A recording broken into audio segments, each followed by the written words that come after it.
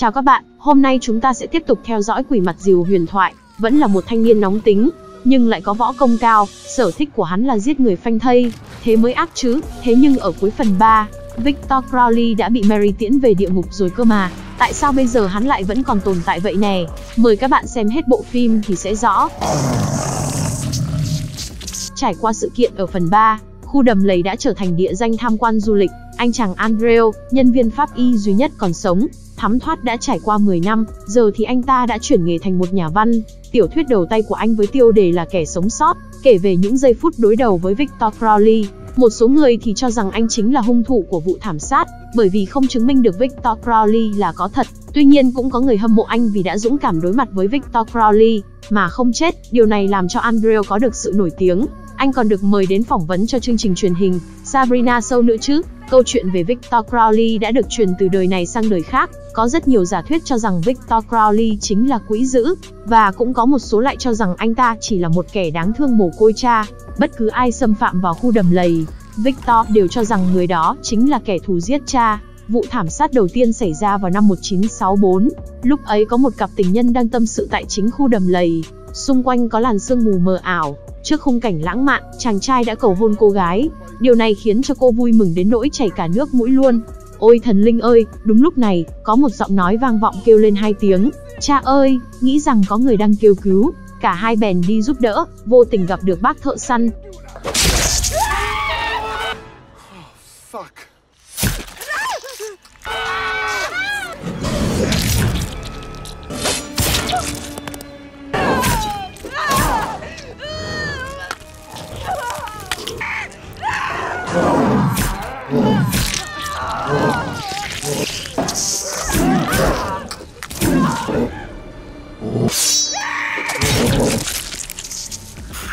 Trở lại hiện tại, khi này bà chị quản lý của Andreo đã nhận được hợp đồng của một công ty truyền thông.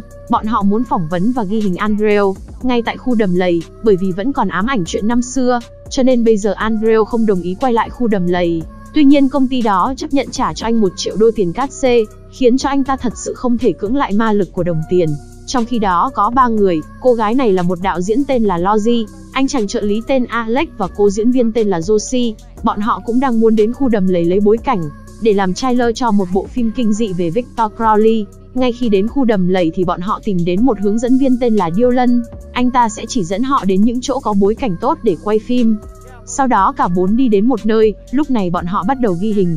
Josie sẽ đọc lời thoại có nội dung là một câu thần chú, để triệu hồi Victor Crowley, tuy nhiên bọn họ chỉ là dân nghiệp dư, cho nên câu thần chú mà Logi đã soạn ra rất khó đọc và lại khó nhớ. Thế là bọn họ nảy ra ý tưởng sẽ tham khảo những video clip trên YouTube, có rất nhiều người hướng dẫn câu thần chú để triệu hồi ác quỷ. Cùng lúc này Andreo và cô quản lý đang trên máy bay, đi cùng họ là những người của một công ty truyền thông, phụ trách phỏng vấn Andreo chính là cô nhà báo Sabrina. Ông chú dâu sồm bắt đầu cài miso thu âm cho Andreo. Sau khi xong việc, thì đến anh bán xà bông phụ trách make up cho Andreo. Bất ngờ máy bay bị gãy cánh thổi bay anh bán xà bông. Một người văng ra ngoài cửa sổ, rồi rơi xuống.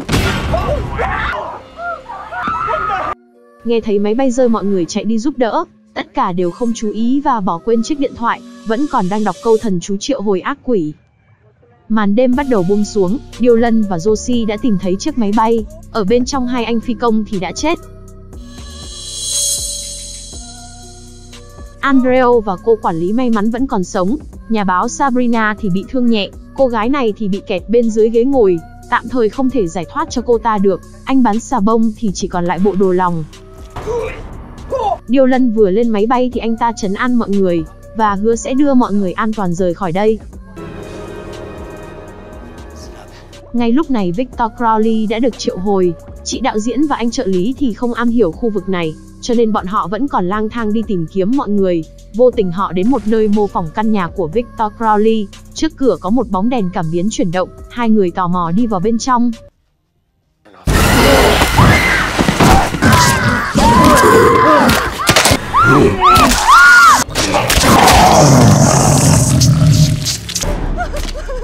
Phía bên này nghe thấy tiếng gầm của Victor Crowley, hoảng sợ Andrew bảo mọi người lập tức vào trong chiếc máy bay để ẩn trốn. Ngoài anh bạn Andrew ra, thì lúc này ai nấy cũng đều hoang mang. Mặc dù chưa tận mắt nhìn thấy Victor Crowley, trong máy bay thì điện thoại không bắt được sống, chị gái này thì sắp bị ngạt nước. Đúng lúc này Logi chạy đến, theo sau là quỷ mặt dìu. Hắn ta cố tình không giết cô gái để dẫn dụ mọi người ra ngoài cứu. Ôi thần linh ơi tên Victor Crowley này cũng biết dùng chiến thuật nữa, ghê vậy trời.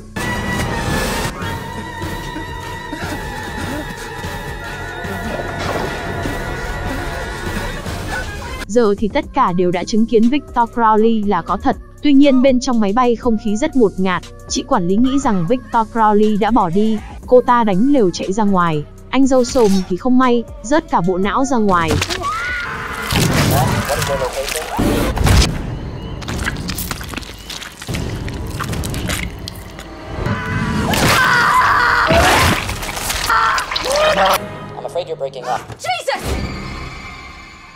Sau khi giết hai cô gái, quỷ mặt dìu lao đến cố gắng xông vào chiếc máy bay, khiến cho nước tràn vào làm cho cô gái này chết ngộp. Đúng lúc này chiếc điện thoại reo lên, Josie chưa kịp bắt máy thì điện thoại đã tắt. Ở bên ngoài quỷ mặt dìu dùng chiếc máy mày để phá cánh cửa. Tình huống nguy cấp Dylan nghĩ ra cách sẽ khởi động cánh quạt của máy bay, rồi dẫn dụ tên Victor Crowley đến gần, như thế sẽ dễ dàng tiêu diệt hắn. Lập tức Dylan vào phòng điều khiển cố gắng khởi động cánh quạt,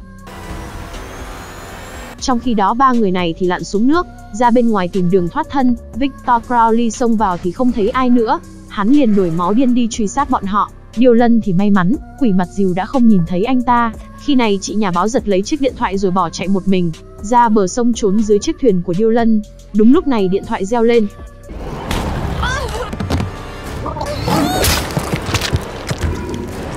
Phía này Andrew quay lại chiếc máy bay, để tìm thứ gì đó có thể chống trả Victor Crowley, nhưng chỉ tìm được khẩu súng bắn pháo sáng. Cô gái Josie thì lanh trí trèo lên trên cây, may mắn cô thoát được kiếp nạn. Lập tức chạy về chiếc máy bay, tuy nhiên quỷ mặt dìu ở ngay sau lưng. Đúng lúc nguy cấp Andrew bắn một phát cứu mạng cô gái, nhưng phát thứ hai thì lại bị trượt. Liều mình anh đẩy Victor Crowley vào cánh quạt nhưng không thành công. Điều lân nổi máu anh hùng lao tới đồng quy vô tận với quỷ mặt dìu, Sáng hôm sau cảnh sát liền có mặt tại hiện trường. TV cũng đưa tin phát sóng trực tiếp. Một điều thật không thể ngờ là Mary Beth vẫn còn sống. Bộ phim đến đây là hết rồi. Nếu các bạn thấy hay, hãy cho mình một like và một đăng ký kênh. ủng hộ mình nhé các bạn. Tạm biệt.